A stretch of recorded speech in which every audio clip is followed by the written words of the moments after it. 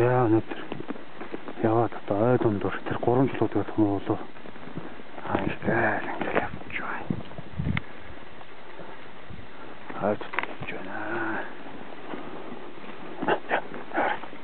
Түрүү мармын ядраад би жоохон хөтлж яваад.